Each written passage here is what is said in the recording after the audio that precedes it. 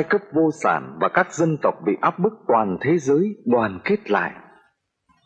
Thế kỷ này vang tiếng gọi của Lenin. Moscow, mùa xuân năm 1919 Lenin phát biểu tại Đại hội thành lập quốc tế thứ ba Quốc tế Cộng sản. Khắp thế giới bắt đầu bước ngoặt tiến vào đấu tranh cách mạng.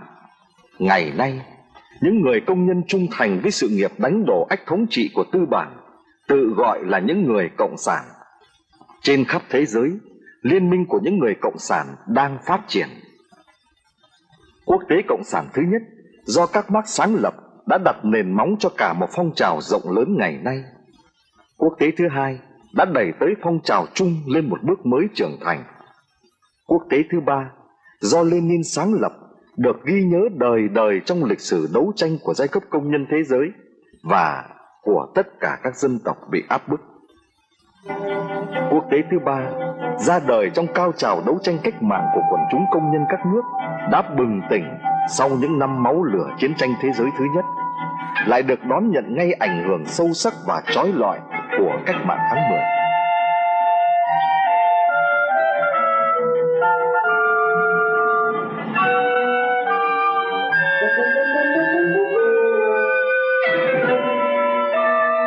Dưới sự lãnh đạo của những đội tiên phong cách mạng dứt khoát đứng trong hàng ngũ quốc tế thứ ba, quần chúng rộng rãi nhất xông lên những trận đấu tranh quyết liệt, giành cơm áo, tự do, quyền sống, bất chấp đàn áp, khủng bố tù đầy.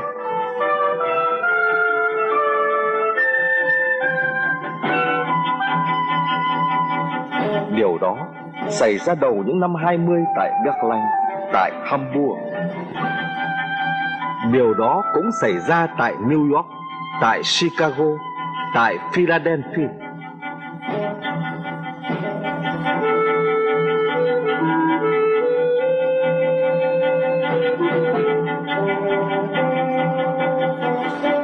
Cũng vào đầu những năm 1920, châu Á hướng về Lenin, hướng về quốc tế thứ ba.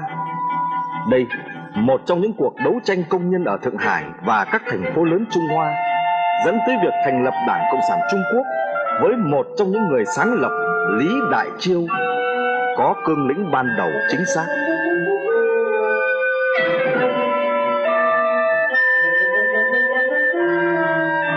Do cao trào quần chúng cách mạng Trung Quốc có thiện cảm với cách mạng tháng 10 thúc đẩy, chính phủ cách mạng Trung Quốc do Tôn Giật Tiên đứng đầu được thành lập ở Quảng Châu đã mời cố vấn Liên Xô sang giúp cách mạng dân tộc dân chủ Trung Quốc.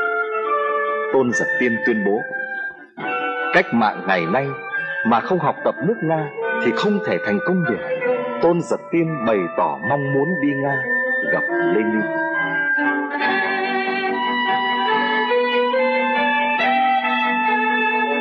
Một người yêu nước châu Á khác cũng muốn sang Nga gặp Lenin. Người yêu nước châu Á đó trưởng thành trong phong trào yêu nước và phong trào đấu tranh công nhân sôi sục dưới trời Tây Âu đã tiếp thu truyền thống quốc tế chủ nghĩa tại quê hương công xã Paris.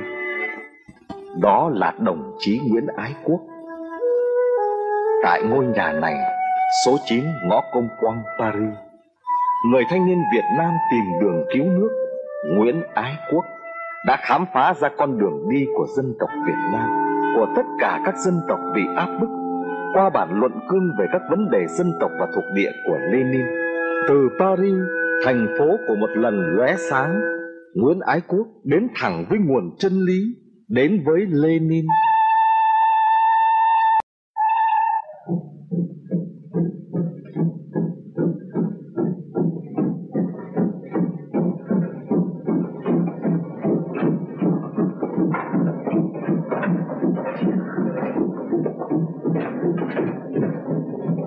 Berlin năm 1923 Nguyễn Ái Quốc đã tận mắt chứng kiến những đảo lộn này của một đất nước kiệt quệ sau chiến tranh.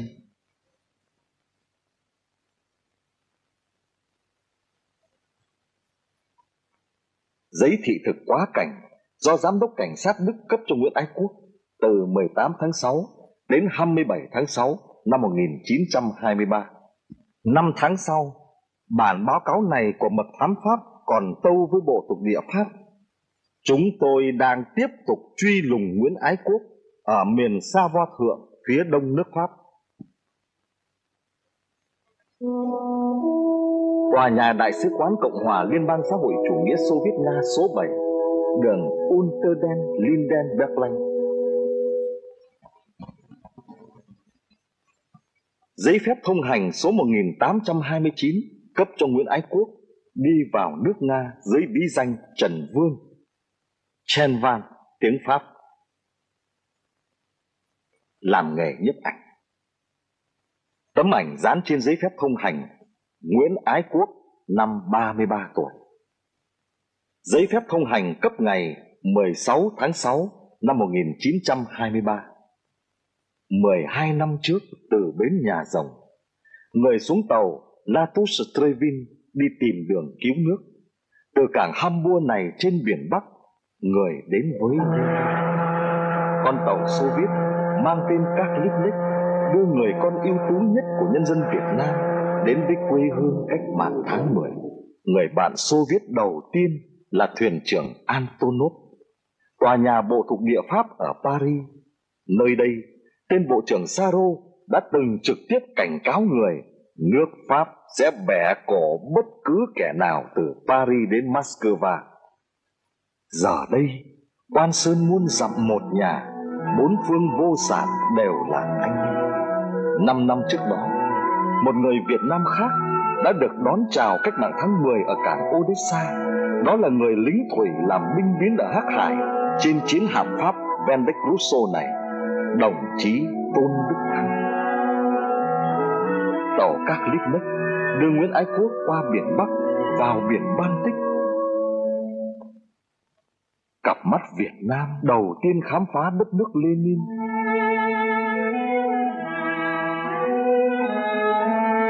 Vui nào bằng đến với xứ sở của niềm tin.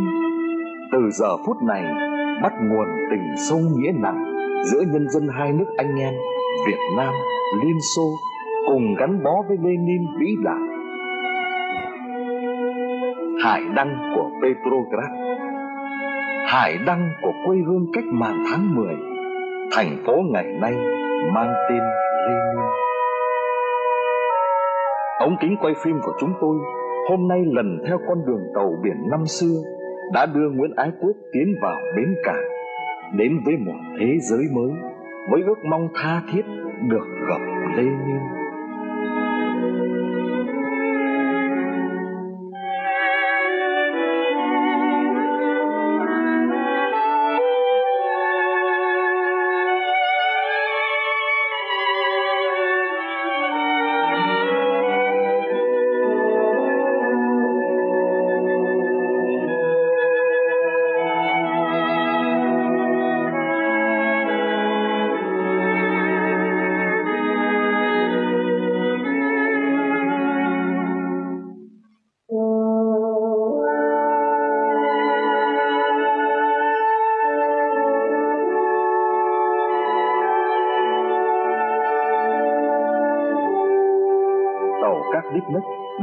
Đến bến nơi đây, bến số 7 cảng Petrograd.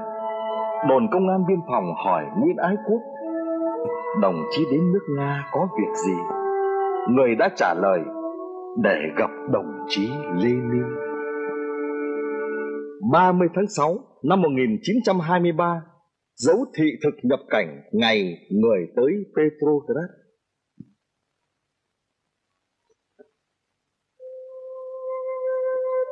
Hình ảnh đồng chí Nguyễn Ái Quốc những ngày đầu tiên đến Petrograd.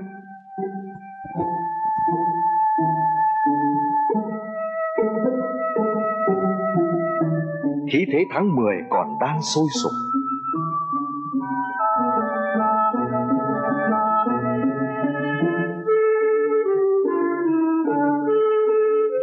Đất nước vừa ra khỏi chiến tranh và nội chiến, Cuộc sống còn đạm bạc nhưng tự hào biết bao nhiêu Thank you.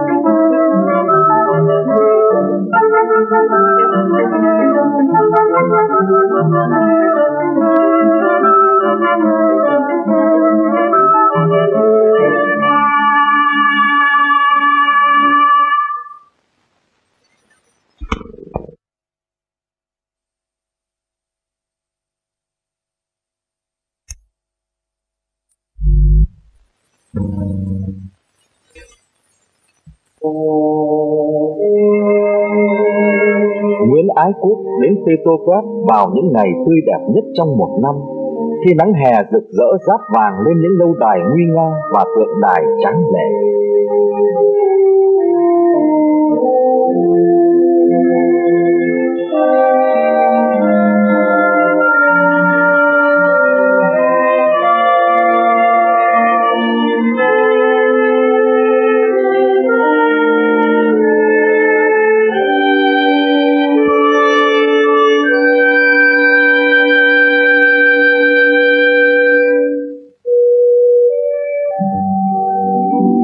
Sống những đêm trắng nổi tiếng của Petrograd và tâm hồn thơ lớn ấy đã rung động như thế nào trước vẻ huyền ảo của những đêm hè phương Bắc.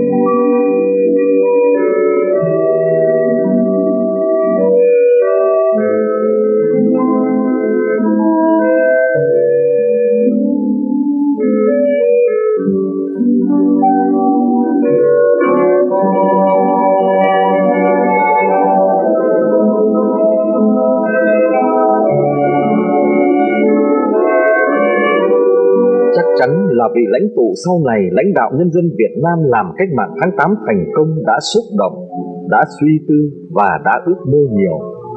Trước con tàu Giạc Đông, báo hiệu Giạc Đông của một kỷ nguyên mới.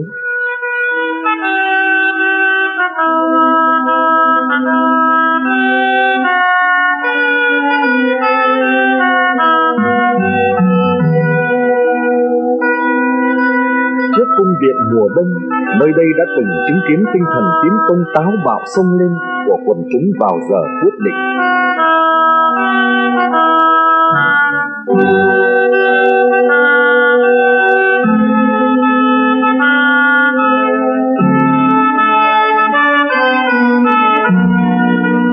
Trước lâu đài Smolny, chiếc nôi chính quyền Xô Viết gắn liền với trí tuệ thiên tài của Lenin, từ đây người đã sáng tạo thế giới mới.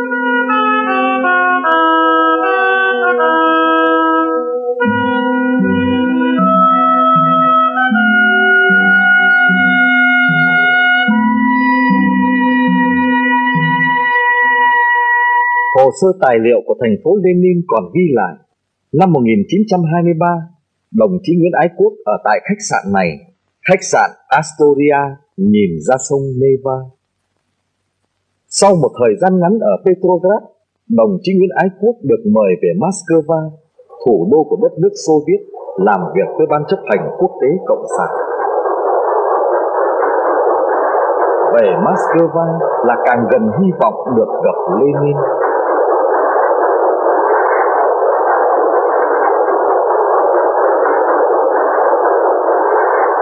Đây Moscow thủ đô của cách mạng xã hội chủ nghĩa trung tâm của thế giới mới. Lần đầu tiên đồng chí Nguyễn Ái Quốc đến với thành phố này siết bao thân yêu đối với người. Số nhà 10, 12 đường Tverskaya là khách sạn Ritz dành riêng cho cán bộ từ mọi phương trời đến làm việc tại quốc tế cộng sản. Đồng chí Dalin đã từng sống chung với đồng chí Nguyễn Ái Quốc trong ngôi nhà này trả lời phỏng vấn của chúng tôi. Люкс был одной из лучших гостиниц в дореволюционной Москве на улице, на Тверской улице. Lux là một trong những khách sạn tốt nhất của Moscow trước cách mạng tháng 10. Sau cách mạng, khách sạn này trở thành nhà ở tập thể của quốc tế Cộng sản. các cán bộ của quốc tế cộng sản, các lãnh tụ giai cấp công nhân nhiều nước từng sống ở đây.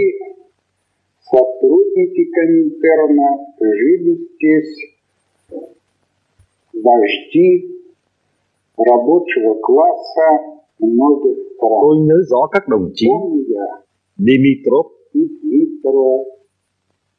Togliatti, Hồ Chí Minh đã ở đây. Đồng chí Hồ Chí Minh ở tầng 3 cùng tầng với đồng chí Senkatayama. Tôi cũng là tầng cấp này, vì thế tôi nhớ rõ hình ảnh kính mến của đồng chí Hồ Chí Minh mà tôi được gặp hàng ngày.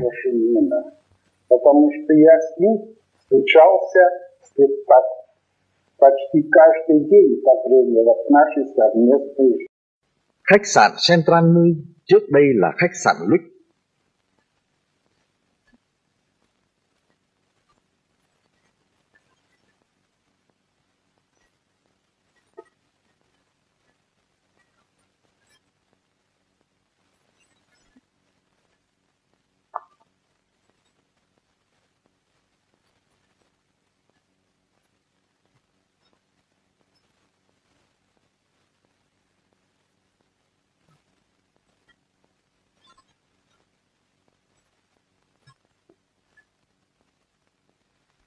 Tầng gác thứ ba.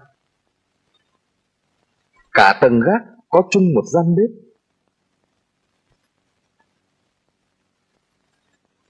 Người cũng như mọi người, Hàng ngày sách ấm tự đun lấy nước ở đây đem về buồng uống.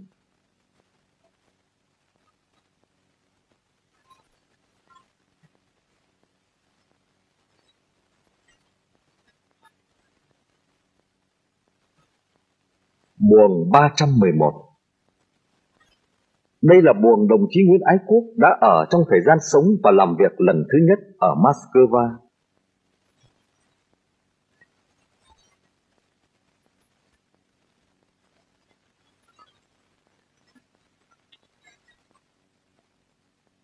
Người đã làm việc thâu đêm người đã hoàn thành những chương cuối cùng của cuốn Bản án chế độ thực dân Pháp gửi đi Paris xuất bản. Từ Moscow, trái tim cộng sản ấy càng thương nhớ Tổ quốc Việt Nam. Càng xót xa nghĩ đến đồng bào trong nước, bà con nông dân lam lũ, anh em thợ bị bóc lột đến xương tủy,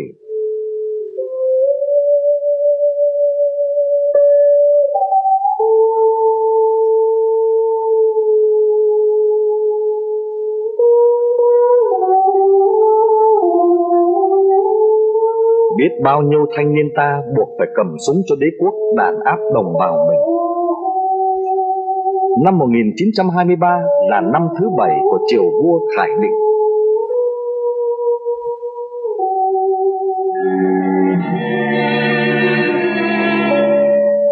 Tên vua bán nước hôi tanh, tận tụy phục vụ công cuộc gia tăng bóc lột thuộc địa của đế quốc Pháp ở nước ta vào những năm 20 sau chiến tranh thế giới lần thứ nhất. Thực dân Pháp ở Việt Nam vào những năm đó càng thẳng tay đàn áp đẫm máu những cuộc nổi dậy yêu nước cuối cùng do các tầng lớp nhân sĩ và trí thức phong kiến lãnh đạo. Bất chấp khủng bố, tra tấn, tù đầy, phong trào yêu nước Việt Nam không bao giờ tắt. Nhưng làm thế nào từ tay không vùng lên mà đánh đổ được bọn thực dân xâm lược đang duy trì ách thống trị của chúng bằng bạo lực quân sự? Câu hỏi bức thiết đó đang được đặt ra cho cách mạng Việt Nam. Câu hỏi bức thiết đó đang đặt ra cho tất cả các dân tộc bị áp bức. Dùng người thuộc địa giết người thuộc địa là chính sách cổ truyền chia để trị của thực dân đế quốc.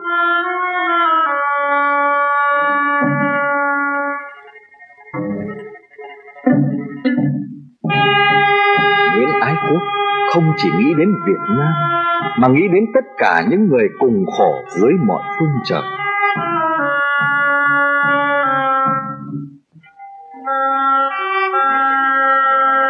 Bức ảnh người da đen này đăng trong một bài báo do Nguyễn Ái Quốc viết, in trên họa báo Thế giới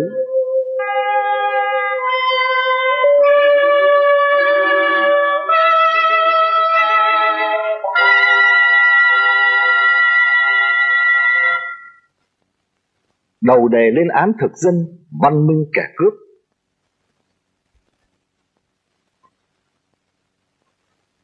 Bài báo nô lệ và nền văn minh kêu gọi đánh đổ thực dân đế quốc. Nguyễn Ái Quốc biểu dương những cuộc khởi nghĩa đang ngùn ngụt lửa của nhân dân Maroc. Tác giả những bài báo này càng mong gặp Lenin bao nhiêu điều cần được người soi sáng thêm về các vấn đề dân tộc và thuộc địa. Nhưng Lenin lúc đó không ở Moscow. Người đang dưỡng bệnh ở làng Gorky cùng với tất cả những người cộng sản và nhân dân lao động trên toàn thế giới đồng chí Nguyễn Ái Quốc chăm chú từng ngày theo dõi sức khỏe của người thầy và lãnh tụ. Mừng xiết bao khi thấy bức ảnh này, Lenin đi dạo trong vườn ở làng Gorky. Mùa thu năm 1923, xen trong mỗi trái tim lo âu lẫn niềm hy vọng về sức khỏe của người. Lenin đã bình phục rồi chăng?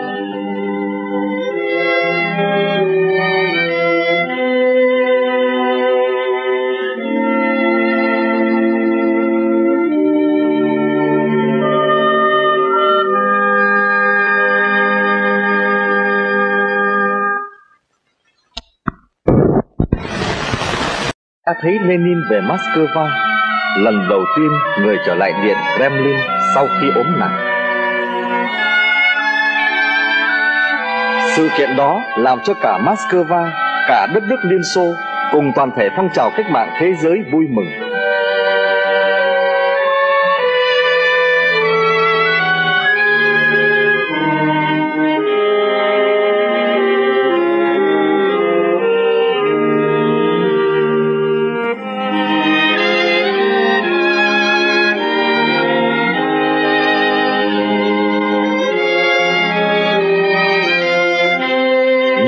Ngay sau đó, Lenin lại phải trở về cái bàn làm việc này ở làng Gorky. Với điện thoại này, người liên hệ với thế giới bên ngoài. Liên Xô năm 1924 ưu tiên bánh mì cho trẻ em, tàn phá chiến tranh chưa dọn hết. Nhân dân lao động gian khổ trên những đống đổ nát. Bữa ăn công trường là nồi súp loãng. Chủ nghĩa xã hội bắt đầu từ chỗ dập bê tông bằng chân như thế này đây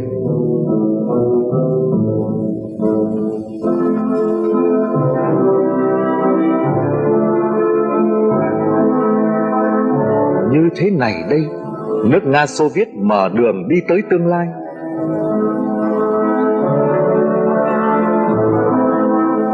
Là người yêu thích trẻ nhỏ, nguyễn ái quốc rất chú ý vấn đề nhi đồng. Người nói ngay từ ngày đó, nếu nước nga chưa phải là thiên đường cho tất cả mọi người thì nước nga đã là thiên đường cho trẻ em.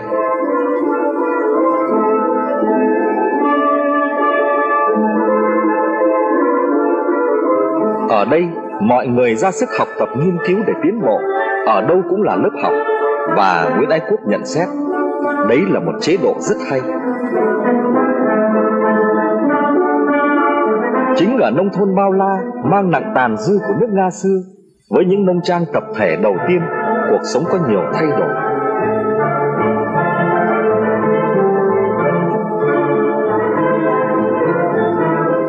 điện về nông thôn thời đó còn là chuyện lạ.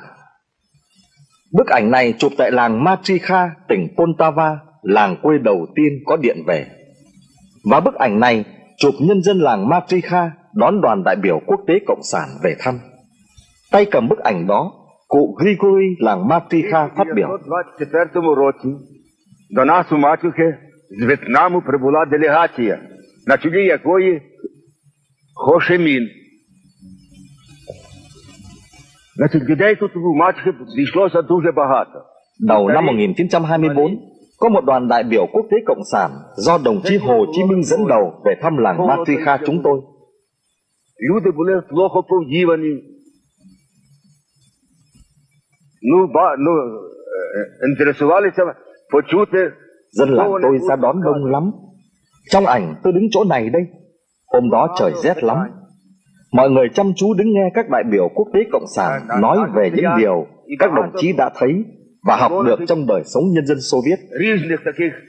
Đây là thời kỳ sau chiến tranh và nội chiến, đất nước bị tàn phá, thiếu thốn trăm bề. Làng chúng tôi còn bùn lầy nước đọng, nhân dân quần áo chưa lành, cái ăn chưa đủ, công việc đồng áng chủ yếu làm bằng tay rất vất vả. Đồng chí Hồ Chí Minh nói trước dân làng chúng tôi rằng Khôi phục kinh tế sau chiến tranh không phải là công việc một sớm một chiều. Đồng chí tin rằng bằng sức lao động dũng cảm của mình, nhân dân matrika và toàn quốc nhất định sẽ xây dựng một cuộc sống ấm no hạnh phúc Một nước xã hội chủ nghĩa giàu mạnh tươi đẹp và sẽ trở thành tấm gương sáng cho các dân tộc.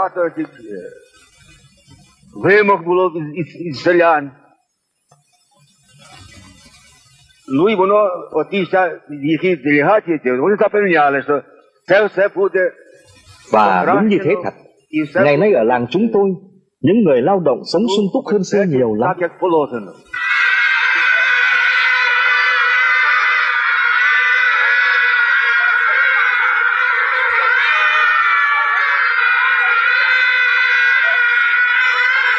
Câu lạc bộ làng Matrika có góc triển lãm nhỏ về Việt Nam.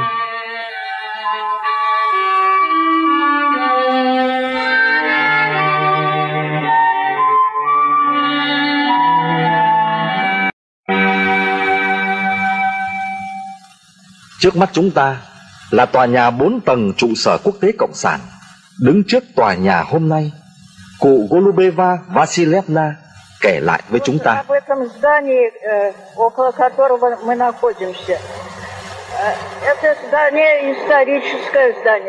Ngôi nhà này, cạnh chỗ chúng ta đứng đây, là một ngôi nhà lịch sử. Trong khoảng 15 năm, Ban chấp hành quốc tế Cộng sản đặt trụ sở tại đây. Rất nhiều nhà lãnh đạo các đảng Cộng sản toàn thế giới đã làm việc tại đây. Руководящие деятели коммунистических партий почти всего мира. А Здесь же вот э, на, э, с балкона, там, где балкон э, на третьем этаже, там находился зал, который назывался Красный зал.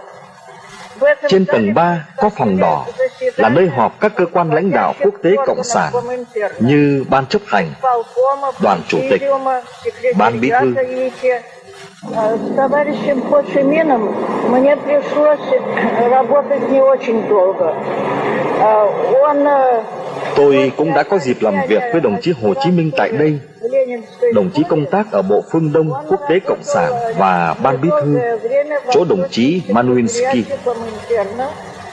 И потом э, в секретариате Мануильского.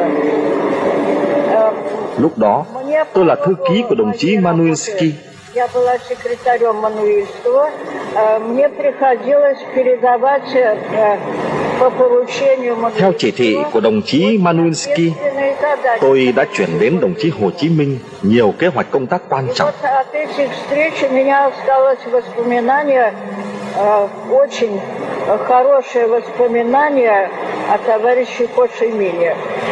Э, Он был, насколько вот э, сейчас я вспоминаю, э, внешний облик его, э, он был э, среднего роста. Tôi nhớ mãi đồng chí Hồ Chí Minh lúc đó người tầm thước, mảnh khảnh, э, công tác tận tụy, очень э, làm việc có tổ chức черноволосый, kỷ luật. э, Một очень con người rất có văn hóa, внимательный, thông и, minh э, я бы và có rất сказала, nhiều nghị lực.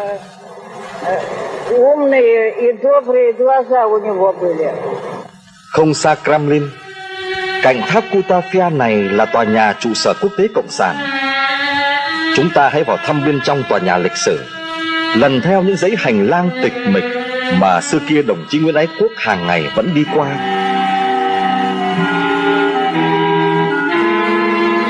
Phòng 407 này là nơi lưu trữ hồ sơ của quốc tế Cộng sản, trong đó giữ gìn nguyên vẹn nhiều báo cáo quan trọng của đồng chí Nguyễn Ái Quốc và nhiều tài liệu về hoạt động của người. Tại căn buồng này, Nguyễn Ái Quốc đã làm việc có phần trí tuệ của mình vào phong trào chung và tại trung tâm đầu não của phong trào đã có điều kiện tiếp thu tự nguồn tươi trong của nó, tư tưởng Lenin vĩ đại. Đầu năm 1924, nhà báo Smith đã viết bài bên trong trụ sở quốc tế Cộng sản và chụp những bức ảnh này, văn phòng đại diện Đảng Cộng sản Anh và Mỹ.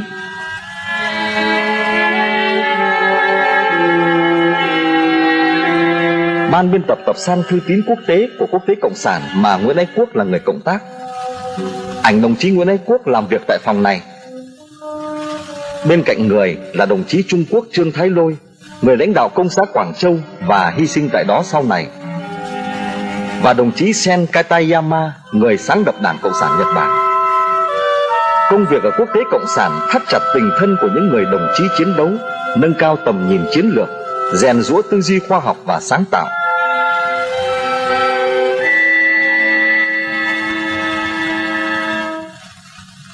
Trực thuộc Ban chấp hành quốc tế Cộng sản có trường Đại học Cộng sản của Nhân dân Lao động phương Đông do Lenin sáng lập. Đồng chí Nguyễn Ái Quốc từng viết về trường đại học chưa từng có đó. Mặc dầu phải đương đầu với biết bao nhiêu khó khăn trong nước và ngoài nước, nước Nga cách mạng không hề một phút do dự trong việc giúp đỡ các dân tộc bị áp bức mà nó đã thức tỉnh bằng cuộc cách mạng anh dũng và thắng lợi. Một trong những việc làm đầu tiên của nó là thành lập trường Đại học Phương Đông. Thanh niên 62 chủng tộc khác nhau cùng thân mật sát cánh bên nhau thiết tha học hỏi. Có thể nói, trường Đại học Phương Đông ôm ấp dưới mái trường của nó tương lai của các dân tộc thuộc địa. Đây là đoạn phim tư liệu thời đó ghi lại một cuộc meeting tại trường này. Nhân dịp kỷ niệm lần thứ ba ngày thành lập trường, đồng chí Nguyễn Ái Quốc đã dự cuộc meeting ở trường Đại học Phương Đông.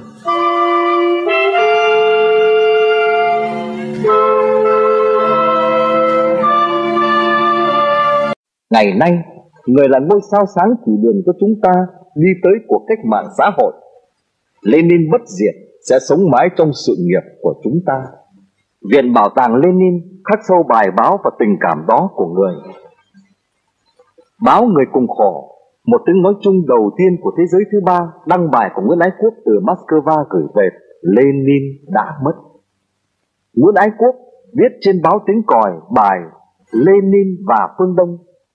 Người viết Đối với tất cả các dân tộc bị áp bức và bị nô dịch, Lenin đã thể hiện một bước ngoặt trong lịch sử đau khổ của cuộc đời nô lệ của họ đã tượng trưng cho một tương lai mới sáng lạn. Tạp chí đỏ đăng bài về Lenin ký tên Nguyễn Ái Quốc. Nguyễn Ái Quốc đã sống như mình viết. Báo Liên Xô, báo chí quốc tế nửa đầu năm 1924 đăng hàng loạt bài của Nguyễn Ái Quốc chứng tỏ một sức làm việc phi thường, một hoạt động tư duy mãnh liệt. Ngay từ ngày đó, người đã nhìn thấy vấn đề Đông Dương và Thái Bình Dương chủ nghĩa đế quốc Pháp dám làm những gì? Trả lời, chủ nghĩa thực dân Pháp nhất định phá sản.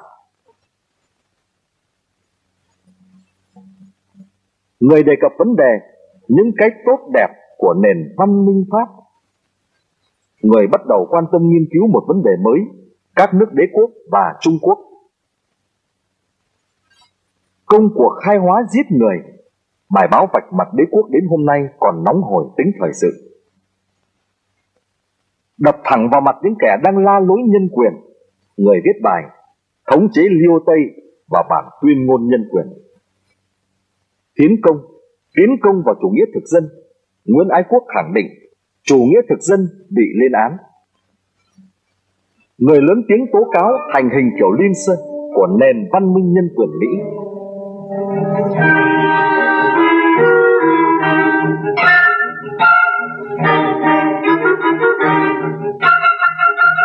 Bức ảnh này đăng cùng với bài báo nổi tiếng Hành hình kiểu Liên Sơn.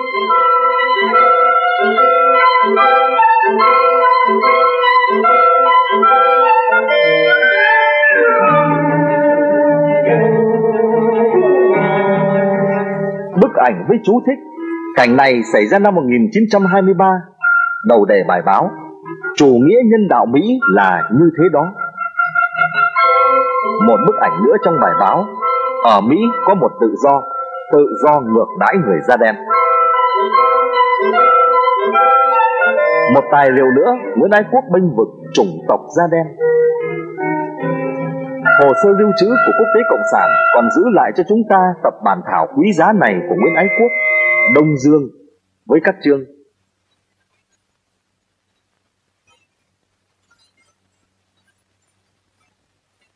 Địa lý lịch sử đời sống kinh tế tâm lý thực dân tập đoàn kẻ cướp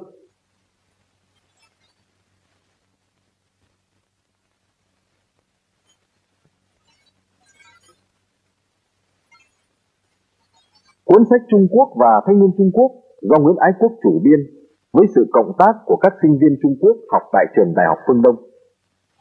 Những tài liệu trên chúng tôi đã tìm thấy trong tòa nhà này, Viện Nghiên cứu Mark Lenin trực thuộc Ban chấp hành Trung ương Đảng Cộng sản Liên Xô. Đồng chí Viện trưởng Egorov đã nói chuyện với chúng tôi В работах товарища Хашимина, написанных в это время, последовательно проводилось, trong các tác phẩm của mình. защищалось Đồng chí Hồ Chí Minh đã bảo vệ triệt để quan điểm Mác Lênin về vấn đề giải phóng dân tộc. Những tác phẩm đó có ý nghĩa to lớn đối với việc tổ chức đấu tranh của những người cộng sản ở các nước thuộc địa và phụ thuộc, là những bài học phong phú và là vũ khí sắc bén trong cuộc đấu tranh.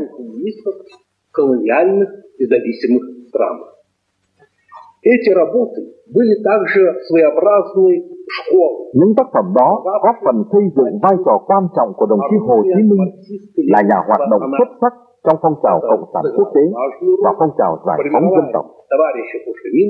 как выдающегося деятеля международного коммунистического и национально-освободительного движения. Товарищ Хашимин бесконечно дорог всем Đồng chí Hồ Chí Minh được sự yêu kính của toàn thể những người cộng sản và nhân dân Xô Viết, của toàn thể các chiến sĩ Marxist Leninist và những người tiến bộ trên toàn thế giới. Giấy mời số 56 này đề tên Ái Quốc.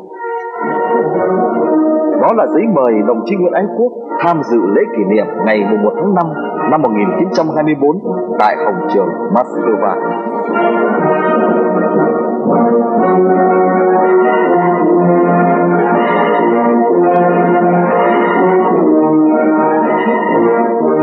Đây là lễ kỷ niệm ngày 1 tháng 5 đầu tiên vắng Lenin. Giấy mời đồng chí Nguyễn Ái Quốc lên phát biểu trước cuộc meeting tại Hồng Trường từ 12 giờ đến 2 giờ trong ngày 1 tháng 5 biến đau thương thành sức mạnh đó. Biến đau thương thành sức mạnh 200 triệu nhân dân Xô Viết kiên quyết tiến lên, đem lá cờ của Lenin đến đích thắng lợi cuối cùng biến đau thương thành sức mạnh những người cộng sản dưới mọi phương trời siết chặt hàng ngũ dưới ngọn cờ Lenin vĩ đại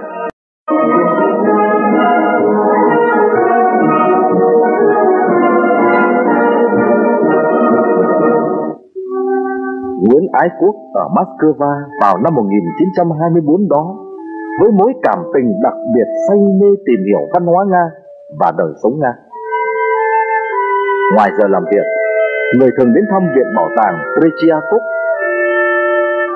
Người yêu thích những tác phẩm hiện thực miêu tả sâu sắc cuộc sống nhân dân.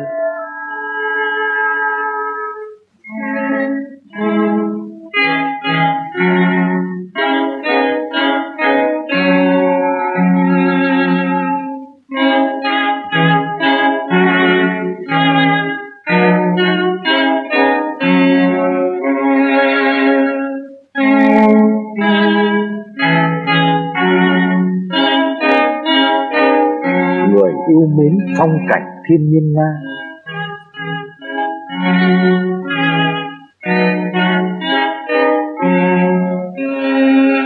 Tại triển lãm hội họa Đức tại Moscow năm 1924, trong tòa nhà này, họa sĩ Đức Johansson đã ký họa chân dung Nguyễn Ái Quốc khi người đến thăm triển lãm. Bức chân dung đó có chữ ký lưu niệm của người. Bài báo viết về Lev Tolstoy này của người cho biết Lev Tolstoy và văn học Nga đã để lại trong người một ấn tượng vô cùng sâu sắc. Nguyễn Ái Quốc đã đến dự Đại hội Quốc tế Phụ nữ năm 1924, họp tại nhà hát cách mạng, nay là nhà hát Mayakovsky, Moscow.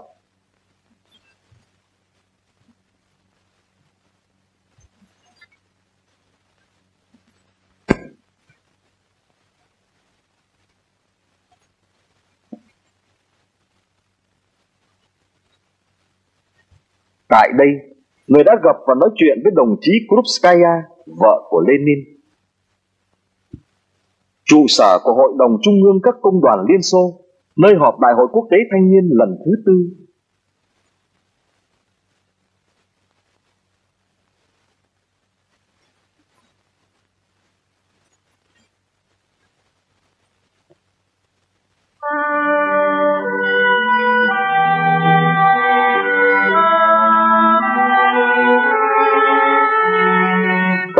Đại biểu Đại hội Quốc tế Thanh niên lần thứ tư mang tên Nguyễn Ái Quốc.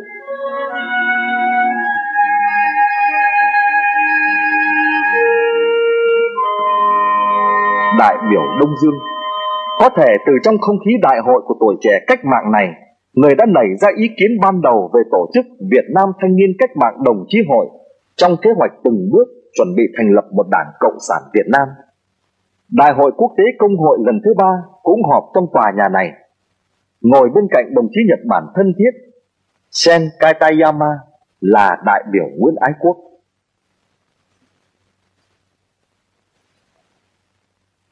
Đại hội thành lập tổ chức quốc tế cứu tế đỏ nhằm mục đích thắt chặt đoàn kết quốc tế, đẩy mạnh ủng hộ lẫn nhau, bảo vệ phong trào chung.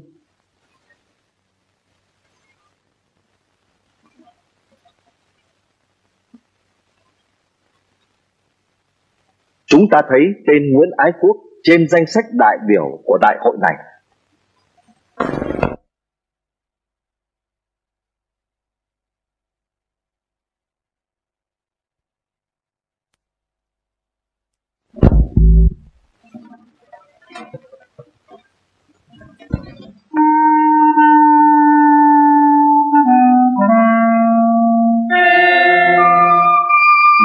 Tượng sâu xa của tình đoàn kết quốc tế vô sản.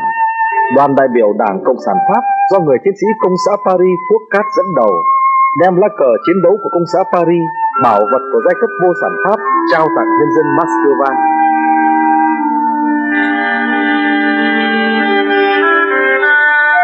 Chúng ta được biết đồng chí Nguyễn Ái Quốc, đảng viên sáng lập Đảng Cộng sản Pháp, có đi trong đoàn đại biểu Đảng Cộng sản Pháp này.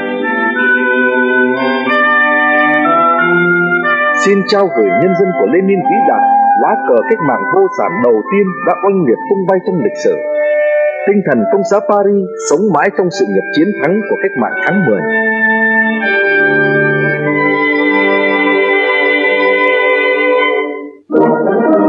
Những ngày này, nhân dân Moscow vô cùng phấn khởi, nồng nhiệt đón chào các đoàn đại biểu các đảng anh em đến dự Đại hội Quốc tế Cộng sản lần thứ năm. Một đại hội có tầm quan trọng đặc biệt, đưa phong trào cách mạng thế giới tiếp tục tiến lên, dương cao ngọn cờ Lenin mãi mãi. Đại hội họp tại Điện Kremlin, cùng Andreev, đại biểu Nguyễn Ái Quốc đi vào hội trường.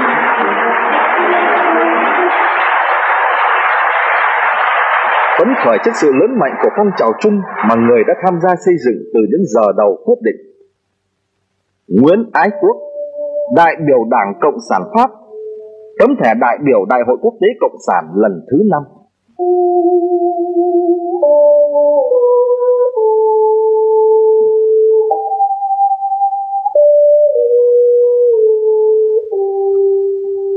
Đồng chí Nguyễn Ái Quốc đọc tham luận trong tất cả các thuộc địa của Pháp, sự nổi dậy của nông dân bản xứ đã chín mùi.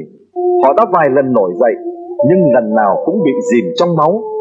Nếu hiện nay nông dân các thuộc địa hãy còn ở trong tình trạng tiêu cực, thì đó là vì họ còn thiếu tổ chức, thiếu người lãnh đạo. Quốc tế Cộng sản cần phải giúp đỡ họ tổ chức lại, cung cấp cán bộ lãnh đạo cho họ, hướng dẫn họ đi tới cách mạng giải phóng người đã trình bày bằng số liệu và chứng minh cụ thể tình cảnh nông dân Việt Nam, Lào, Campuchia và ở một số thuộc địa khác, châu Phi. Trong các đồn điền của đế quốc thực dân, đời sống cu ly là một chế độ nô lệ kiểu mới. Tư bản chính quốc bóc lột dã man nhân công rẻ mạt, thẳng tay vơ vét tài nguyên, ra sức bòn rút lợi nhuận thuộc địa.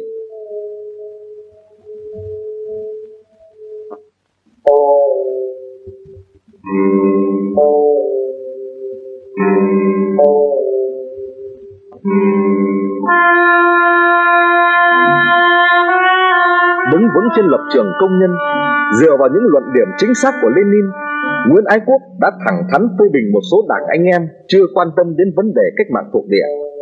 Những người cộng sản có thể nào thờ ơ được trước những cảnh này? Nạn bắt nô lệ người da đen, nạn buôn nô lệ người da đen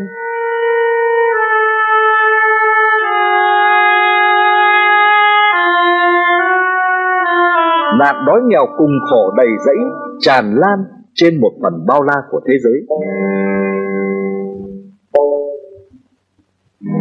từ diễn đàn đại hội nguyễn ái quốc kêu gọi các đồng chí Vì chúng ta là học trò của Lenin, chúng ta phải tập trung sức mạnh và nghị lực vào vấn đề thuộc địa để thực hiện trên thực tế những lời giáo huấn của người. Đại hội đã đứng cả dậy hoan hô đồng chí Nguyễn Ái Quốc khi đồng chí rời diễn đàn trở về chỗ của mình. Nguyễn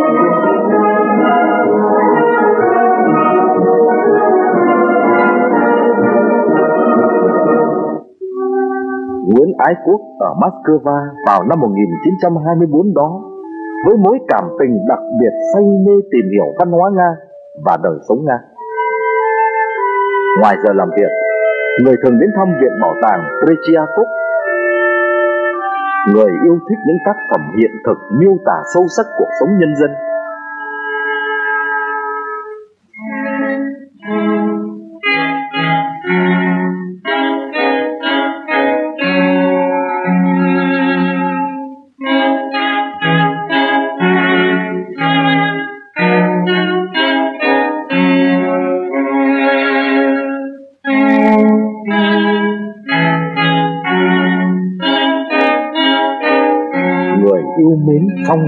Thiên nhiên Nga.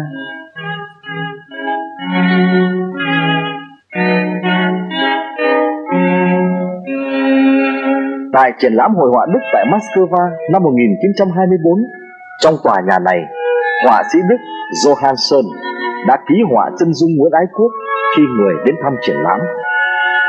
Bức chân dung đó có chữ ký lưu niệm của người. Bài báo viết về Lev Tolstoy này của người cho biết Lev Tolstoy và văn học Nga đã để lại trong người một ấn tượng vô cùng sâu sắc. Nguyễn Ái Quốc đã đến dự Đại hội Quốc tế Phụ nữ năm 1924, họp tại nhà hát cách mạng, nay là nhà hát Mayakovsky, Moscow.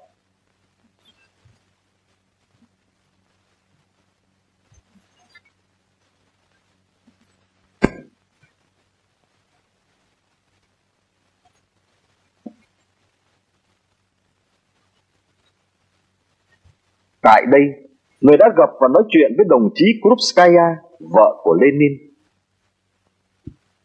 Trụ sở của Hội đồng Trung ương các công đoàn Liên Xô, nơi họp Đại hội Quốc tế Thanh niên lần thứ tư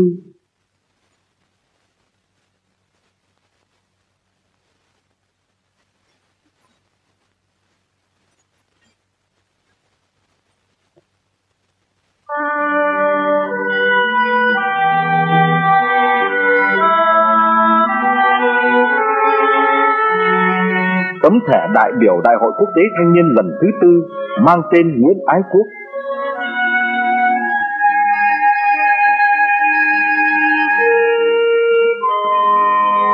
Đại biểu Đông Dương Có thể từ trong không khí đại hội của tuổi trẻ cách mạng này, người đã nảy ra ý kiến ban đầu về tổ chức Việt Nam Thanh niên Cách mạng Đồng chí Hội trong kế hoạch từng bước chuẩn bị thành lập một đảng Cộng sản Việt Nam Đại hội quốc tế công hội lần thứ ba cũng họp trong tòa nhà này.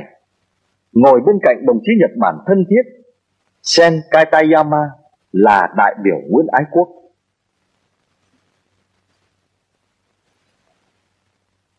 Đại hội thành lập tổ chức quốc tế cứu tế đỏ nhằm mục đích thắt chặt đoàn kết quốc tế, đẩy mạnh ủng hộ lẫn nhau, bảo vệ phong trào chung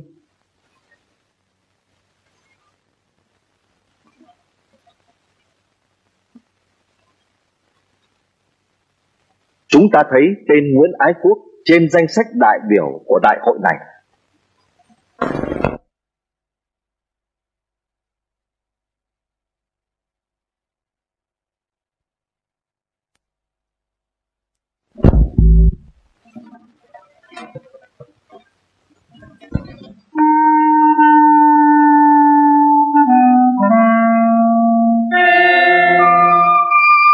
Biểu tượng sâu xa của tình đoàn kết quốc tế vô sản. Đoàn đại biểu Đảng Cộng sản Pháp do người chiến sĩ công xã Paris Phước Cát dẫn đầu đem lá cờ chiến đấu của công xã Paris, bảo vật của giai cấp vô sản Pháp trao tặng nhân dân Moscow.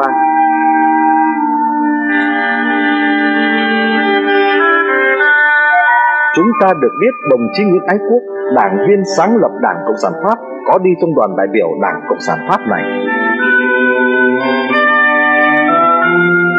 Xin trao gửi nhân dân của Lenin vĩ đại lá cờ cách mạng vô sản đầu tiên đã oanh liệt tung bay trong lịch sử. tinh thần công giáo Paris sống mãi trong sự nghiệp chiến thắng của cách mạng tháng 10.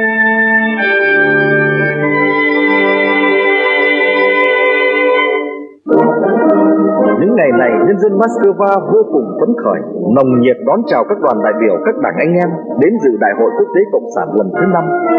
Một đại hội có tầm quan trọng đặc biệt, đưa phong trào cách mạng thế giới tiếp tục tiến lên, dương cao ngọn cờ Lenin mãi mãi.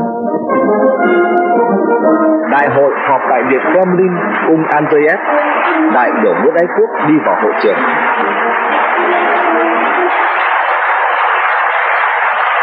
Phấn khởi trước sự lớn mạnh của phong trào chung mà người đã tham gia xây dựng từ những giờ đầu quyết định. Nguyễn Ái Quốc, đại biểu Đảng Cộng sản Pháp, tấm thẻ đại biểu Đại hội Quốc tế Cộng sản lần thứ năm.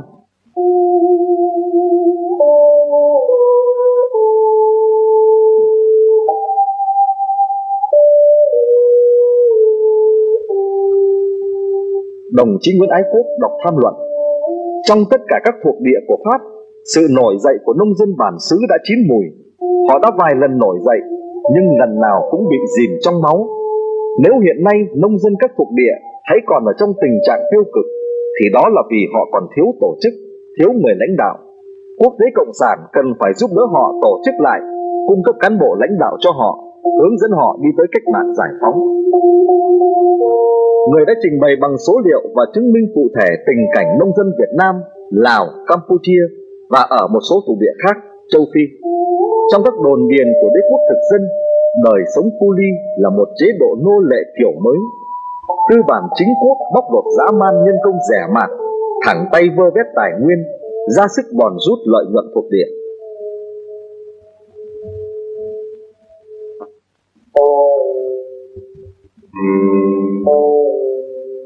Đứng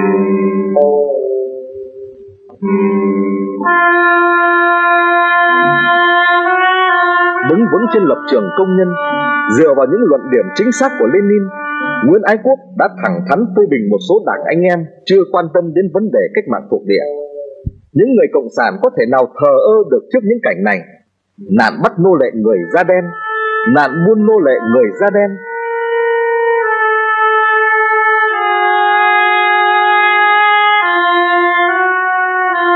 nạn đói nghèo cùng khổ đầy dẫy tràn lan trên một phần bao la của thế giới.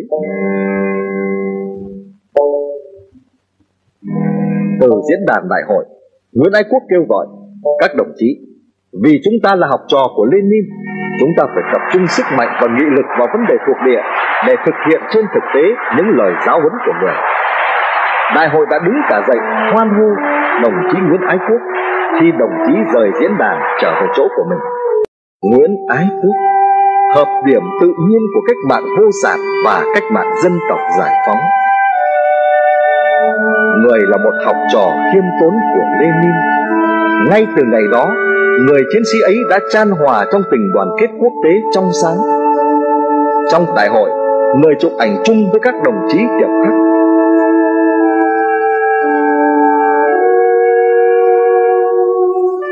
người chụp ảnh chung với các chiến sĩ kiên cường đảng của Tellerman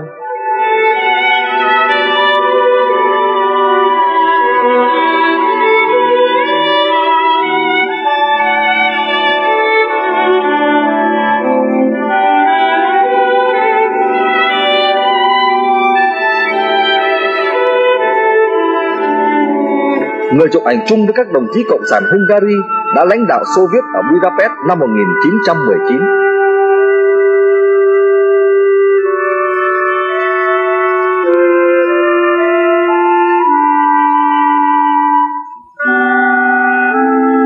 Ấy mời Nguyễn Ái Quốc đến dự cuộc họp đoàn chủ tịch mở rộng của Quốc tế Cộng sản sau đại hội. Báo Công nhân Liên Xô mời đại biểu Nguyễn Ái Quốc đến thăm tòa soạn của mình. Họa sĩ của tờ báo Công nhân đã ghi ký họa chân dung Nguyễn Ái Quốc, người đại biểu tích cực ở đại hội.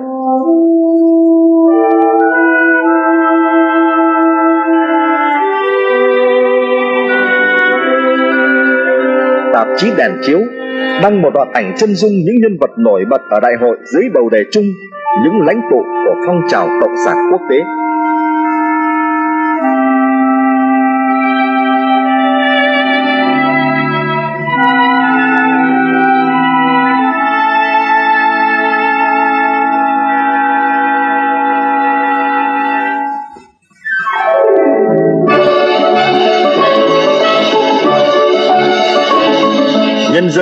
Moscow tổ chức liên hoan tưng bừng chào mừng thành công của đại hội lần thứ năm quốc tế cộng sản.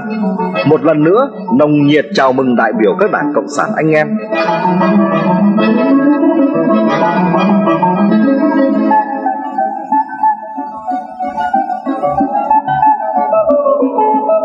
Chào em bé sinh sau tháng 10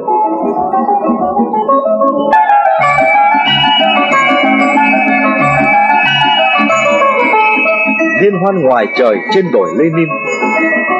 Cùng với các đoàn đại biểu quốc tế, Đồng chí Nguyễn Ái Quốc hòa mình trong cuộc liên hoan quần chúng giạt rào phấn khởi cách mạng. Đó là những giờ phút vui sướng của đồng chí Nguyễn Ái Quốc ở Moscow.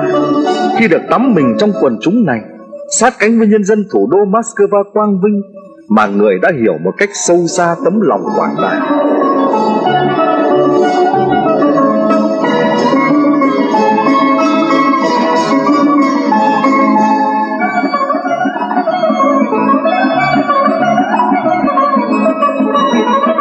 Trong buổi liên hoan, có lẽ người đã vui thích nhất với trò chạy thi của các em nhỏ Xô Viết. Lớp em bé này đã trở thành thế hệ góp công đầu đánh thắng chủ nghĩa phát xít Hitler và xây dựng thành công của quốc xã hội chủ nghĩa mẫu mực. Đất nước của Thế vận hội năm 1980 vào năm 1924 chỉ có thi đấu bóng chuyền dưới nước trong buổi liên hoan quốc tế này. Nhưng giàu có không cùng là tình cảm hiếu nghị. Nhân dân Moscow chiều mến tung lên cao đại biểu quốc tế, tung lên cao Nguyễn Ái Quốc, hoan hô Nguyễn Ái Quốc, hoan hô Việt Nam. Sau đại hội lần thứ năm của quốc tế cộng sản, đồng chí Nguyễn Ái Quốc đề nghị với quốc tế cộng sản để người trở về phương Đông, tạo nhanh điều kiện trực tiếp xây dựng phong trào trong nước Việt Nam. Đồng chí Manuinsky thay mặt ban chấp hành quốc tế cộng sản nói với người, quốc tế cộng sản rất tán thành quyết định của đồng chí đi quảng châu để hoạt động, vừa gần tổ quốc đồng chí, vừa là nơi đang có phong trào cách mạng sôi nổi. Lẽ dĩ nhiên, nhiệm vụ chủ yếu của đồng chí là sáng lập đảng cộng sản đông dương, nhưng xét năng lực, hiểu biết và kinh nghiệm phong phú của đồng chí, ban chấp hành quốc tế cộng sản đề nghị đồng chí chỉ đạo thêm phong trào cách mạng một số nước khác nữa ở đông nam á giấy chứng nhận của quốc tế cộng sản. Nguyễn ái quốc được bổ nhiệm là thành viên của bộ phương đông, phụ trách cục phương nam.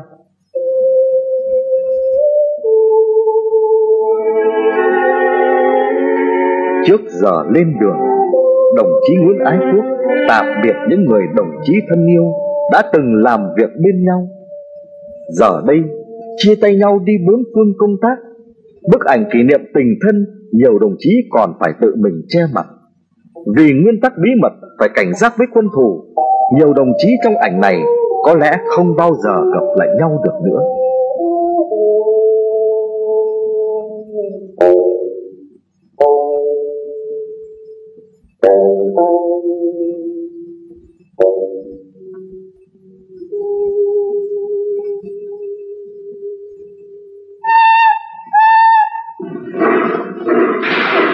Tạm biệt Moscow tháng 10 năm 1924 sau hơn một năm gần gũi Lenin, thấm sâu vào lòng tinh thần sán lạn và tư duy sinh động của người. Con tàu tiến về phương đông, chờ tư tưởng của Lenin đến với một nhân dân thông minh dũng cảm, đang khát khao đón nhận ánh sáng tháng 10 để phát huy hết tiềm lực chiến đấu vươn tới giải phóng. Bác Hồ đến với Lenin, Nối liền Việt Nam với thế giới mới, Nối liền thế giới mới với Việt Nam.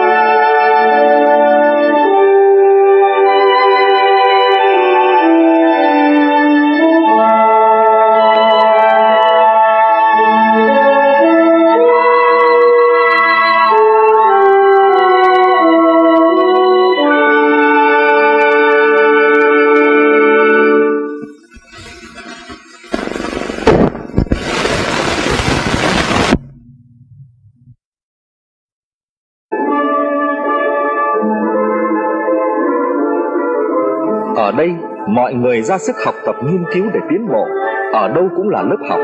Và Nguyễn Ái Quốc nhận xét, đấy là một chế độ rất hay. Chính ở nông thôn Bao La mang nặng tàn dư của nước Nga xưa, với những nông trang tập thể đầu tiên, cuộc sống có nhiều thay đổi.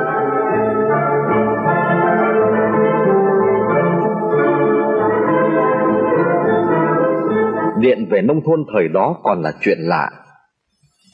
Bức ảnh này chụp tại làng Matrikha, tỉnh Poltava, làng quê đầu tiên có điện về. Và bức ảnh này chụp nhân dân làng Matrikha đón đoàn đại biểu quốc tế cộng sản về thăm. Tay cầm bức ảnh đó, cụ Grigori làng Matrikha phát biểu. 24 році до нас у Матюхи з В'єтнаму прибула делегація, на чолі якої Хошемін.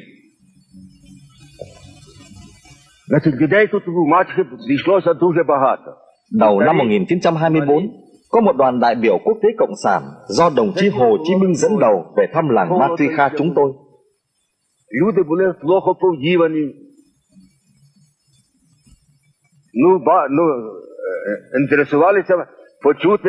Dân làng tôi ra đón đông lắm.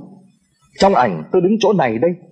Hôm đó trời rét lắm, mọi người chăm chú đứng nghe các đại biểu quốc tế cộng sản nói về những điều các đồng chí đã thấy và học được trong đời sống nhân dân Xô Viết. Đây là thời kỳ sau chiến tranh và nội chiến, đất nước bị tàn phá, thiếu thốn trăm bề. Làng chúng tôi còn buồn lầy nước đọng, nhân dân quần áo chưa lành, cái ăn chưa đủ. Công việc đồng áng chủ yếu làm bằng tay rất vất vả. Đồng chí Hồ Chí Minh nói trước dân làng chúng tôi rằng khôi phục kinh tế sau chiến tranh không phải là công việc một sớm một chiều.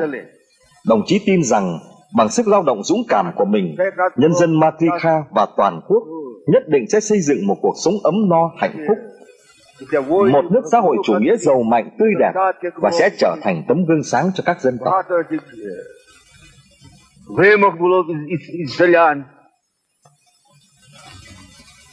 lui uno Otisa dije inteligente uno está peñales theo sẽ phụ và đúng như thế thật. ngày nay ở làng chúng tôi những người lao động sống sung túc hơn xưa nhiều lắm.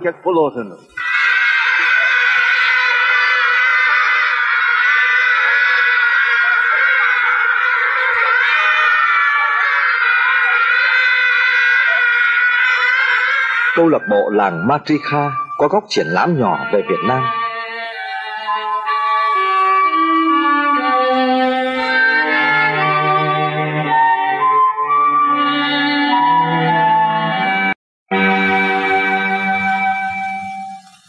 Trước mắt chúng ta là tòa nhà 4 tầng trụ sở quốc tế Cộng sản. Đứng trước tòa nhà hôm nay, cụ Golubeva Vasilevna kể lại với chúng ta.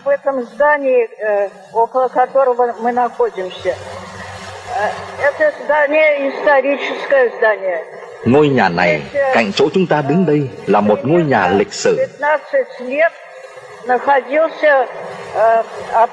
Trong khoảng 15 năm, Коминтерна. Ban chấp hành quốc tế Cộng sản đặt trụ sở tại đây. Э, бывали Rất nhiều nhà lãnh đạo các đảng Cộng sản toàn thế giới đã làm việc tại đây.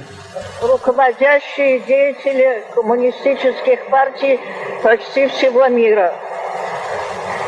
А Здесь же вот э, на, э, с балкона, там, где балкон э, на третьем этаже, там находился зал, который назывался Красный зал.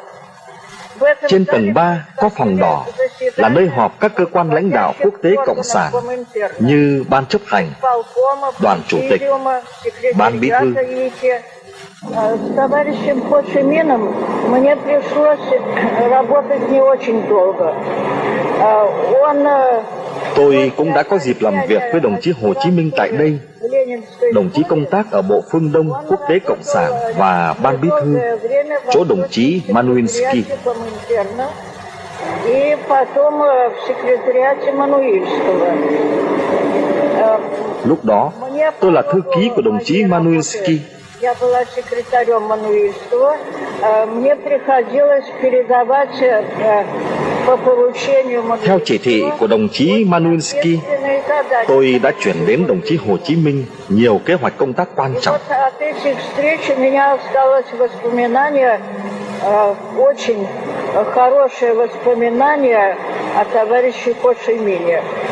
Э, он был, насколько вот э, сейчас я вспоминаю, э, внешний облик его, э, он был э, среднего роста. Tôi nhớ mãi đồng chí Hồ Chí Minh lúc đó người tầm thước, mảnh khảnh, э, công tác tận tụy, очень э, làm việc có tổ chức kỷ luật. э, Một con очень người rất có văn hóa, внимательный, thông minh и, э, я бы và có rất сказала, nhiều nghị lực. э, э, Умные и добрые глаза у него были. Không xa Kremlin, cạnh tháp Kutafia này là tòa nhà trụ sở quốc tế Cộng sản của cuốn Bản án chế độ thực dân Pháp gửi đi Paris xuất bản. Từ Moscow, trái tim Cộng sản ấy càng thương nhớ Tổ quốc Việt Nam. Càng xót xa nghĩ đến đồng bào trong nước, bà con nông dân lam lũ, anh em thợ bị bóc lột đến xương tủy,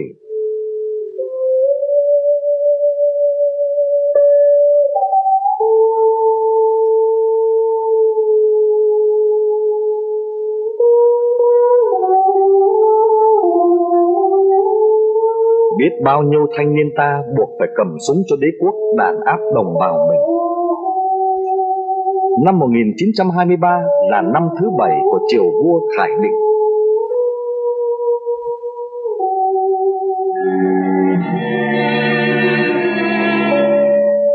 Tên vua bán nước hôi tanh tận tùy phục vụ công cuộc gia tăng bóc lột thuộc địa của đế quốc Pháp ở nước ta vào những năm 20 sau chiến tranh thế giới lần thứ nhất.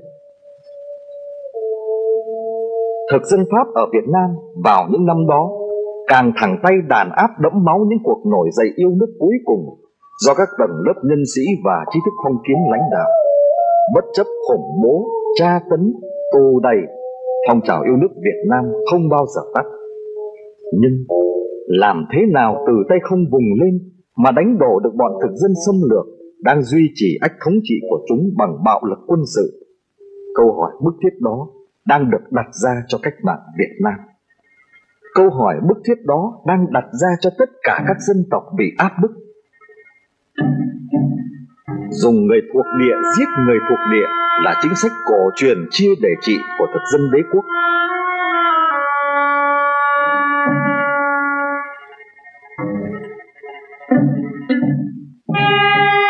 Nguyễn Ái Quốc không chỉ nghĩ đến Việt Nam, mà nghĩ đến tất cả những người cùng khổ dưới mọi phương trời.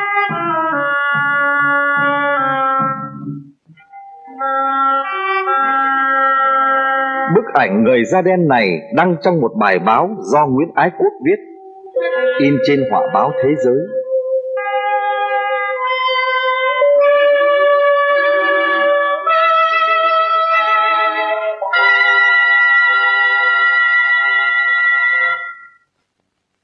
Đầu đề lên án thực dân, văn minh kẻ cướp.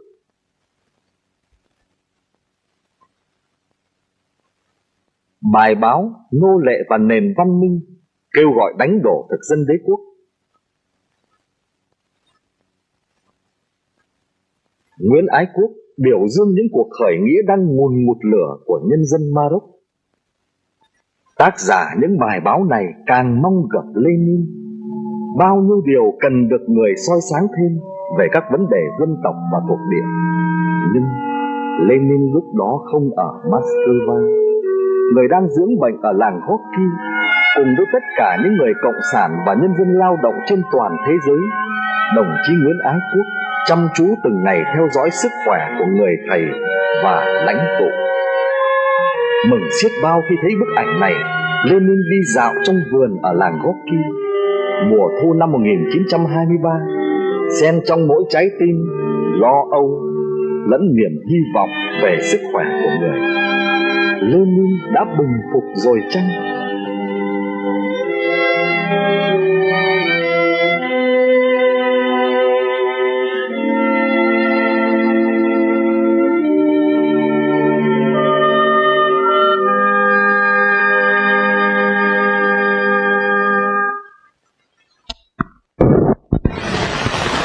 đã thấy Lenin về Moscow, lần đầu tiên người trở lại điện Kremlin sau khi ốm nặng.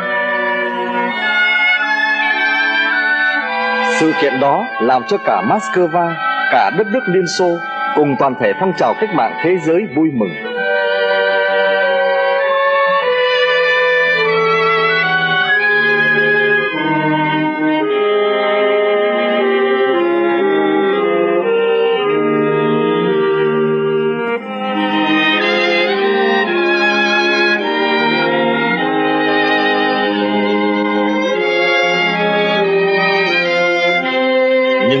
Sau đó, Lenin lại phải trở về với bàn làm việc này ở làng Gorky. Với điện thoại này, người liên hệ với thế giới bên ngoài. Liên Xô năm 1924 ưu tiên bánh mì cho trẻ em, tàn phá chiến tranh chưa dọn hết. Nhân dân lao động gian khổ trên những đống đổ nát. Bữa ăn công trường là nồi súp loãng. Chủ nghĩa xã hội bắt đầu từ chỗ dập bê tông bằng chân như thế này đây.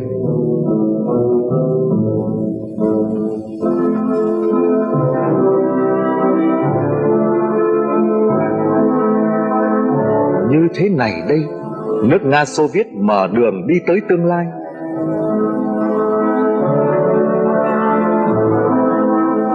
Là người yêu thích trẻ nhỏ, Nguyễn Ái Quốc rất chú ý vấn đề nhi đồng. Người nói ngay từ ngày đó, nếu nước Nga chưa phải là thiên đường cho tất cả mọi người, thì nước Nga đã là thiên đường cho trẻ em.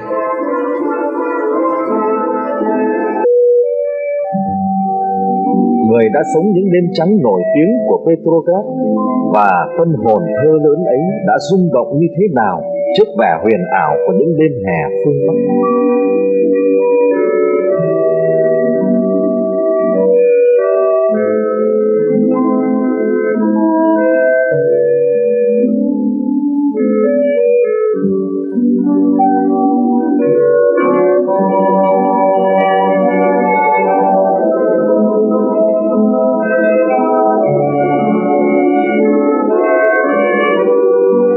Chắc là vị lãnh tụ sau này lãnh đạo nhân dân Việt Nam làm cách mạng tháng 8 thành công đã xúc động, đã suy tư và đã ước mơ nhiều.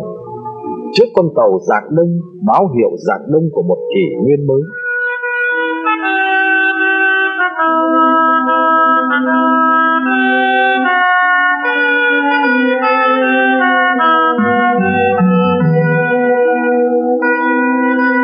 Trước cung điện mùa đông, nơi đây đã từng chứng kiến tinh thần tiến công táo bạo sông lên của quần chúng vào giờ quyết định.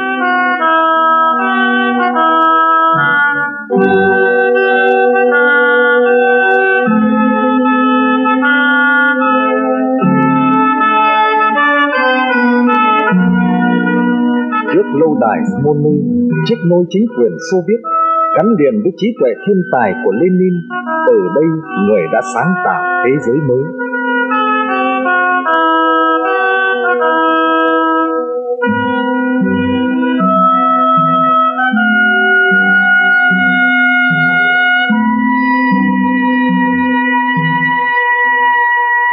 Hồ sơ tài liệu của thành phố Lenin còn ghi lại năm 1923, đồng chí Nguyễn Ái Quốc ở tại khách sạn này, khách sạn Astoria nhìn ra sông Neva.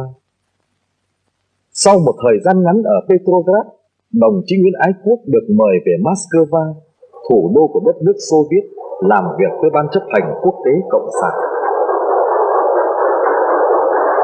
Về Moscow là càng gần hy vọng được gặp Lenin.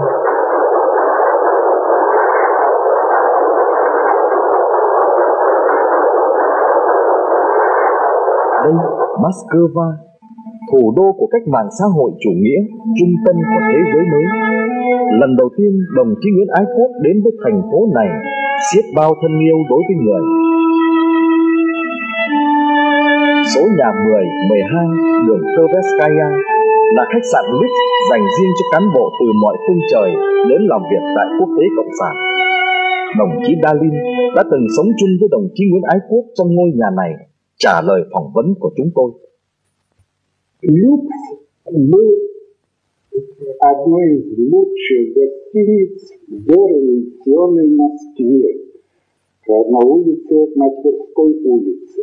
Lux là một trong những khách sạn tốt nhất của Moscow trước cách mạng tháng 10.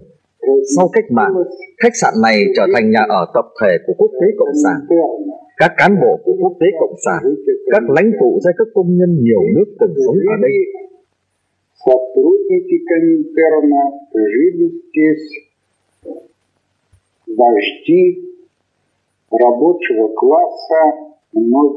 Tôi nhớ rõ các đồng chí Dimitrov, Togliatti, Hồ Chí Minh đã ở đây.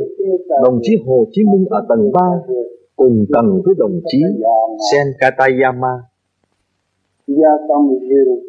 Tôi cũng ở tầng cấp này, vì thế tôi nhớ rõ hình ảnh kính mến của đồng chí Hồ Chí Minh mà tôi được gặp hàng ngày.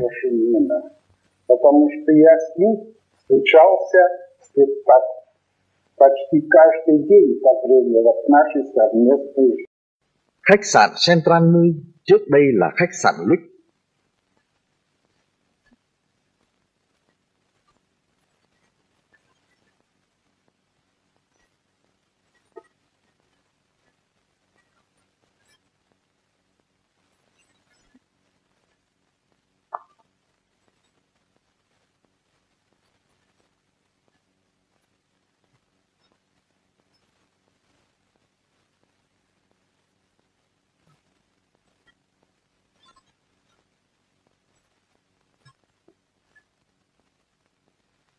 Tầng gác thứ ba Cả tầng gác có chung một gian bếp.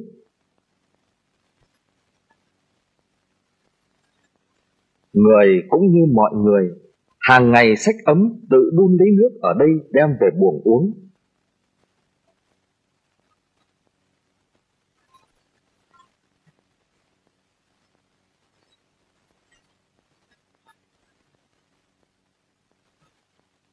Buồng 311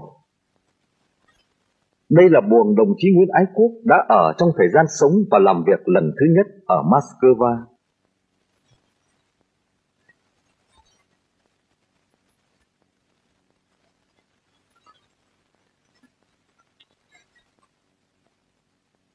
Người đã làm việc thâu đêm. Người đã hoàn thành những chương cuối cùng.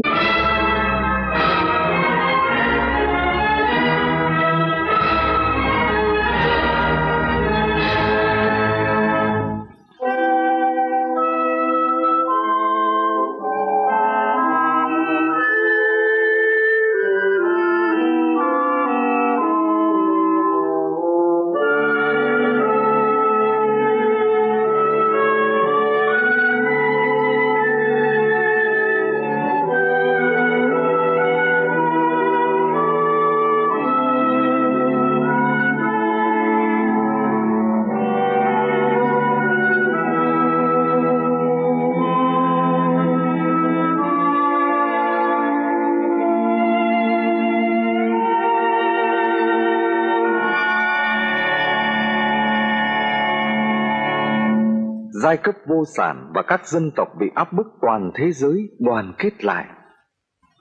Thế kỷ này vang tiếng gọi của Lenin.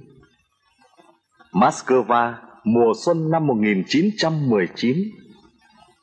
Lenin phát biểu tại Đại hội thành lập quốc tế thứ ba Quốc tế Cộng sản. Khắp thế giới bắt đầu bước ngoặt tiến vào đấu tranh cách mạng.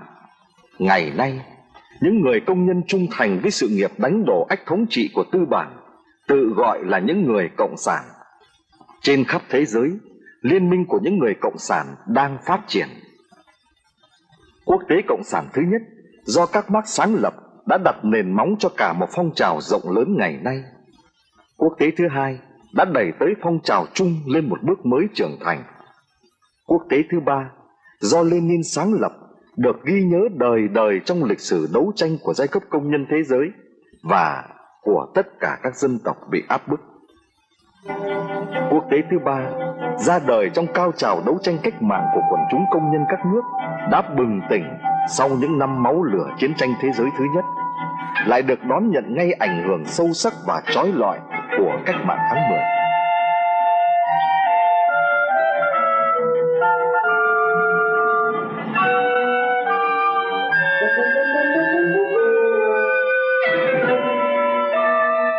Sự lãnh đạo của những đội tiên phong cách mạng dứt khoát đứng trong hàng ngũ quốc tế thứ ba quần chúng rộng rãi nhất xông lên những trận đấu tranh quyết liệt giành cơm áo tự do quyền sống bất chấp đàn áp khủng bố tù đầy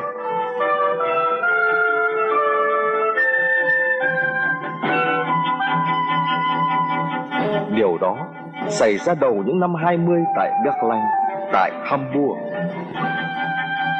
Điều đó cũng xảy ra tại New York, tại Chicago, tại Philadelphia.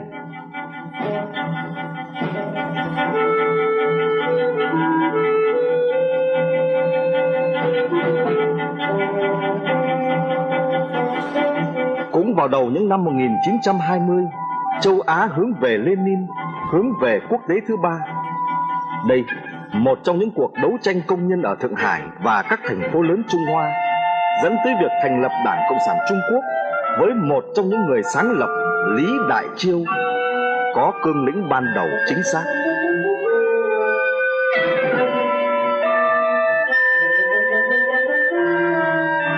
Do cao trào quần chúng cách mạng Trung Quốc có thiện cảm với cách mạng tháng 10 thúc đẩy, chính phủ cách mạng Trung Quốc do Tôn Giật Tiên đứng đầu được thành lập ở Quảng Châu đã mời cố vấn Liên Xô sang giúp cách mạng dân tộc Dân chủ Trung Quốc.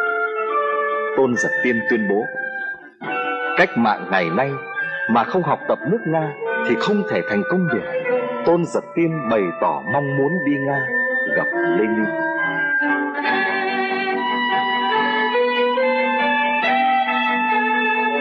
Một người yêu nước châu Á khác cũng muốn sang Nga gặp Lenin. Người yêu nước châu Á đó trưởng thành trong phong trào yêu nước và phong trào đấu tranh công nhân sôi sục dưới trời Tây Âu đã tiếp thu truyền thống quốc tế chủ nghĩa tại quê hương công xã Paris. Đó là đồng chí Nguyễn Ái Quốc. Tại ngôi nhà này, số 9 ngõ Công Quang Paris, người thanh niên Việt Nam tìm đường cứu nước Nguyễn Ái Quốc đã khám phá ra con đường đi của dân tộc Việt Nam, của tất cả các dân tộc bị áp bức qua bản luận cương về các vấn đề dân tộc và thuộc địa của Lenin. Từ Paris, thành phố của một lần lóe sáng, Nguyễn Ái Quốc đến thẳng với nguồn chân lý, đến với Lenin.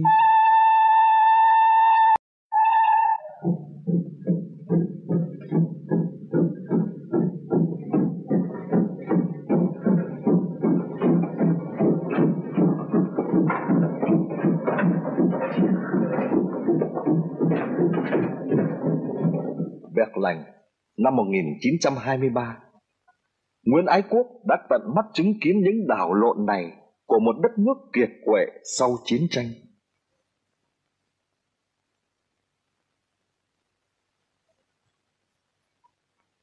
Giấy thị thực quá cảnh do Giám đốc Cảnh sát Đức cấp cho Nguyễn Ái Quốc từ 18 tháng 6 đến 27 tháng 6 năm 1923. Năm tháng sau, bản báo cáo này của mật thám Pháp còn tâu với Bộ Tục địa Pháp Chúng tôi đang tiếp tục truy lùng Nguyễn Ái Quốc ở miền Savo Thượng phía đông nước Pháp. Tòa nhà Đại sứ quán Cộng hòa Liên bang Xã hội Chủ nghĩa Xô Viết Nga số 7, đường Unterden Linden Berlin. Giấy phép thông hành số 1829 cấp cho Nguyễn Ái Quốc đi vào nước Nga dưới bí danh Trần Vương Chen Van, tiếng Pháp. Làm nghề nhiếp ảnh. Tấm ảnh dán trên giấy phép thông hành Nguyễn Ái Quốc năm 33 tuổi. Giấy phép thông hành cấp ngày 16 tháng 6 năm 1923. 12 năm trước từ bến nhà rồng, người xuống tàu Latus Trevin đi tìm đường cứu nước. Từ cảng Hamburg này trên biển Bắc người đến với nhau con tàu xô viết mang tên các lít đưa người con ưu tú nhất của nhân dân Việt Nam đến với quê hương cách mạng tháng 10. Người bạn Xô Viết đầu tiên là thuyền trưởng Antonov, tòa nhà bộ thuộc địa Pháp ở Paris. Nơi đây, tên bộ trưởng Saro đã từng trực tiếp cảnh cáo người nước Pháp sẽ bẻ cổ bất cứ kẻ nào từ Paris đến Moscow Giờ đây Quan Sơn muôn dặm một nhà, Bốn phương vô sản đều là anh em. Năm năm trước đó, Một người Việt Nam khác Đã được đón chào cách mạng tháng 10 Ở cảng Odessa. Đó là người lính thủy làm binh biến ở Hắc Hải Trên chiến hạm Pháp Vendek Russo này, Đồng chí Tôn Đức Thắng. Tàu các lít nước đưa Nguyễn Ái Quốc qua biển Bắc, vào biển Baltic cặp mắt Việt Nam đầu tiên khám phá đất nước Lenin.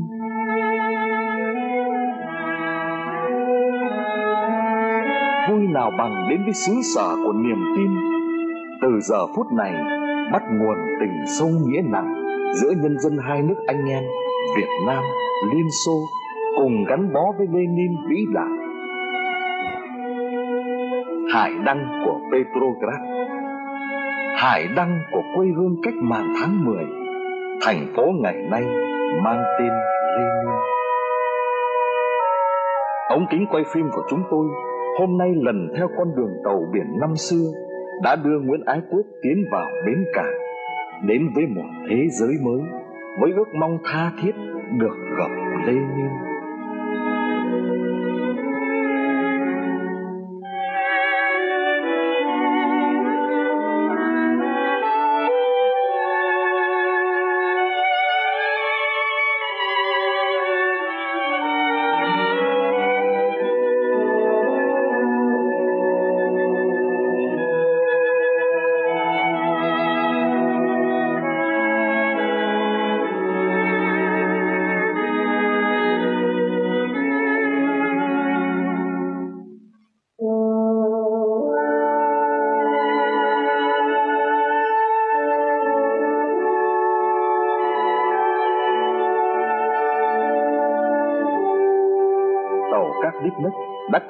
nơi đây, bến số 7 cảng Petrograd. Đồn công an biên phòng hỏi Nguyễn Ái Quốc, đồng chí đến nước Nga có việc gì? Người đã trả lời, để gặp đồng chí Lenin. 30 tháng 6 năm 1923, dấu thị thực nhập cảnh ngày người tới Petrograd.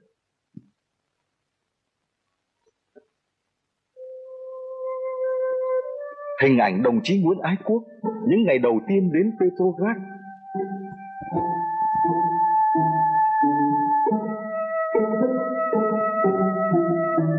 Khí thế tháng 10 còn đang sôi sục.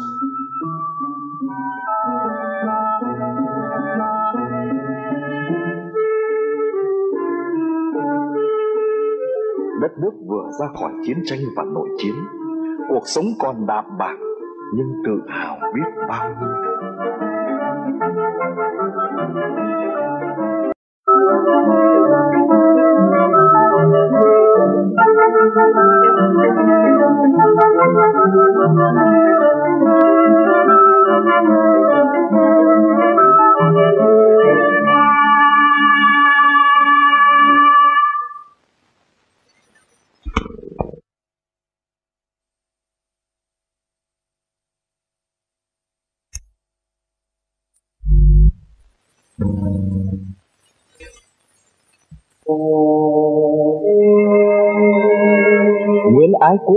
Quốc Petrograd vào những ngày tươi đẹp nhất trong một năm, khi nắng hè rực rỡ rát vàng lên những lâu đài nguy nga và tượng đài trắng lệ.